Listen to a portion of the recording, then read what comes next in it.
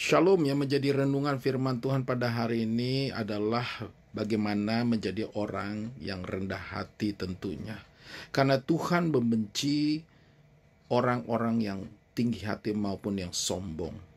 Landasan firman Tuhan diambil dari Yesaya 5 ayat 15. Maka manusia akan ditundukkan dan orang akan direndahkan. Ya, orang-orang sombong akan direndahkan merupakan nasihat Tuhan bagi kita pada hari ini karena orang-orang sombong akan direndahkan. Oleh karenanya Tuhan membenci kesombongan.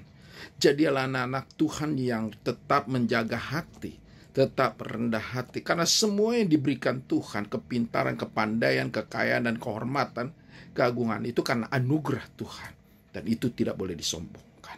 Tuhan Yesus memberkati, jadilah orang yang rendah hati. Amin.